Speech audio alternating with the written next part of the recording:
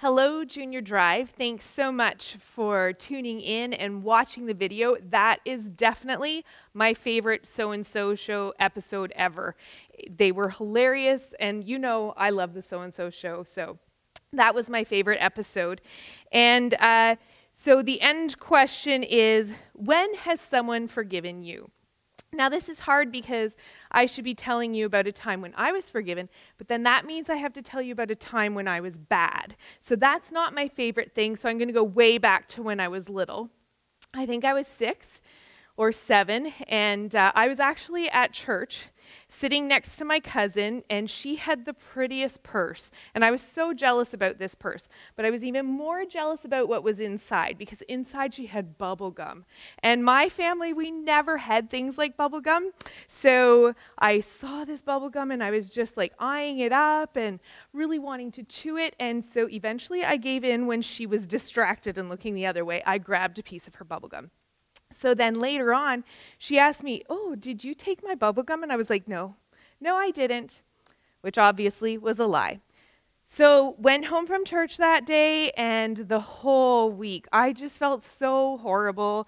And I couldn't tell anybody what I'd done because it was so bad. I'd stolen from someone.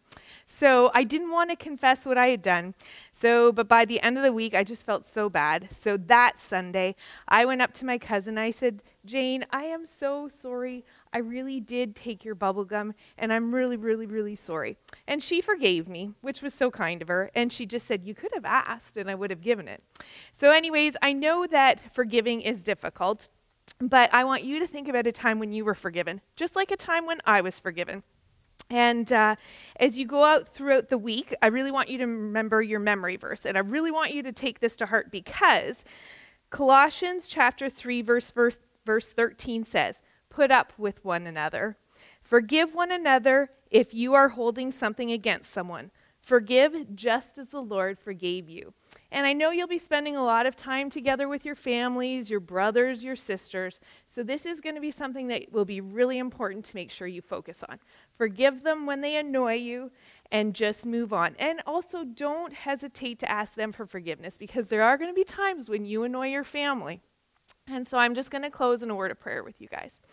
God, I just thank you so much for each one of the kids that tuned in today and for those that can't be here. And uh, Lord, I just pray that you would help them to love one another. I pray that you would help them to see times when they are maybe not forgiving someone that they need to.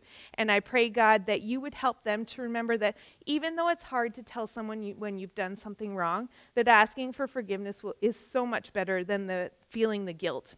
And so just be with the kids, help them to have a great week and to study their Bible and to work on the things that they can work on and to be supportive of their family. In Jesus' name I pray. Amen. Have a good week.